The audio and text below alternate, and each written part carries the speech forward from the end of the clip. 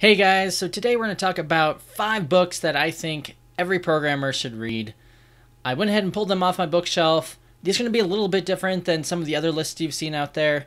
So let's begin. So these books are in no particular order, but one of the ones that I really like is Masters of Deception.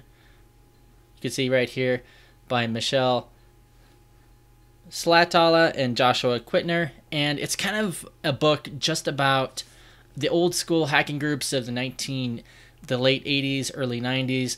They went into how they were getting into phone systems, they were doing phreaking, they were hacking, um, just getting in a lot of trouble in New York. It's a really interesting story about these different kind of hacking groups and how they attacked each other and what they did to really change the world as we know it. It's really cool, really interesting story, and I would recommend it for people.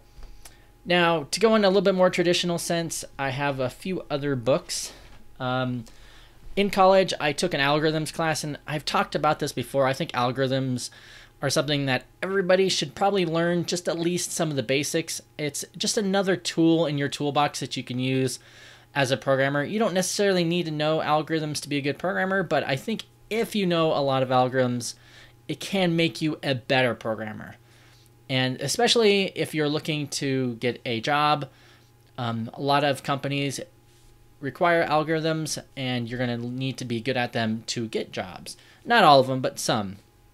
So if you really want to go deep dive into algorithms, um, there is definitely cracking the coding interview which I, I like. I don't have the book right here, but if you want to kind of get a textbook, like something you would learn in school, Introduction to Algorithms, this is the second edition book. It's definitely great. Uh, it's by Thomas Cormen, Charles Lyle, uh, Ronald Rivest. I'm not going to try to pronounce all their names, but so you're going to get a really crazy amount of math here. It's definitely like a college textbook, so this is not an easy read, but if you want to just look up an algorithm that you're interested in and get a real detailed overview on it, you can uh, look at this and try to understand it. Uh, and it has questions and answers in the back too, so that helps. Another book I would highly recommend is The Pragmatic Programmer by Andrew Hunt and David Thomas and this is kind of gives a lot it this is usually recommended in a lot of lists for programmers um, web developers too.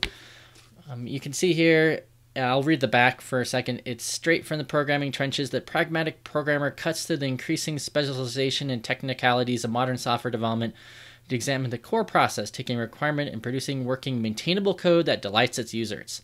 It covers topics ranging from personal responsibility career development to architectural techniques for keeping your code flexible and easy and adapt and reuse. Read this book and you'll learn how to, and it keeps on going on and on about software, kind of best practices for software development.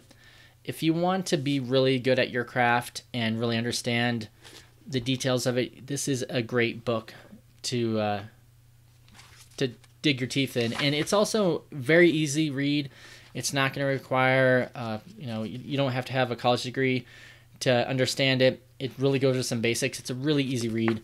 I would highly recommend it. Um, one step up from that, a lot of other people and a lot of lists um, for developers re- recommend this book, and this is Code Complete. Uh, this is second edition by Steve McConnell. It's a pretty thick book. I've actually gone through it a few times. I haven't read it all, but it certainly uh, has a couple of great topics. Um, I'll read a little bit of the back. It's widely considered one of the best practical guides to programming. Steve McConnell's original Code Complete has been helping developers write better software for more than a decade.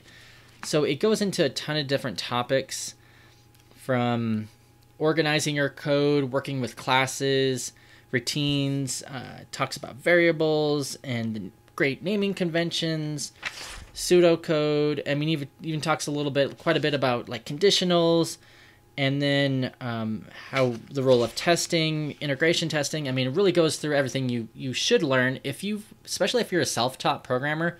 Picking up the Pragmatic Programmer or Code Complete is a is a definitely good idea, just because they are to fill in some of those gaps that you don't know that you you you wouldn't know unless you get a job.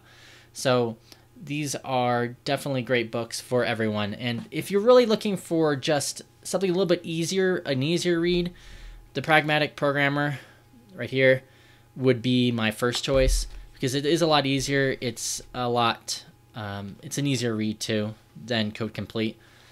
And Code Complete does ramp up, so when you get into like near the middle and end, you're going to get into some advanced topics. So if you didn't understand the beginning, you're going to kind of get lost later on. And one more book, uh, I got to plug my own, and that is the Ember JS Cookbook, which is the first book I wrote. Uh, it just has a bunch of different like uh, Ember.js recipes, kind of to get you up and running in Ember.js pretty quickly. Has over 65 of them. It's uh, it was a, a a love, I guess a work of love, I guess I should say. I wrote it last year, but it's still very relevant for today. And if you've been thinking about different front end frameworks, uh, Vue, Ember, React, Angular, kind of React and Vue are getting a lot of play right now. Consider Ember.js just to, you know, see what else is out there and see different ways of doing it. I think you'll be surprised of how well it's it is and how well it's put together and how easy it is to get an app up and running. Um, I have another book coming out. I don't have much details on it right now, but I'm going to create a, a launch video on it later, so stay tuned for that. And also, I'll put in the link below um, all the links to these books, so please check it out. And by the way, this week, um, I'm going to mention it that Udemy is having a sale, $10 sale on all courses. I'm going to put links below. If you can uh, check them out, definitely I have some there's a couple courses I really recommend. JavaScript, the weird parts is one of them. I've gone through it. It's definitely a good refresher for me on JavaScript. And it's really cheap. It's like why not buy it? Ten dollars. It would be perfect to pick up. So click on that link below. Uh, it's an affiliate link, so I get a couple bucks if you buy it. I really appreciate it. it really helps me out. If you have any questions, leave a comment below. Thanks and take care.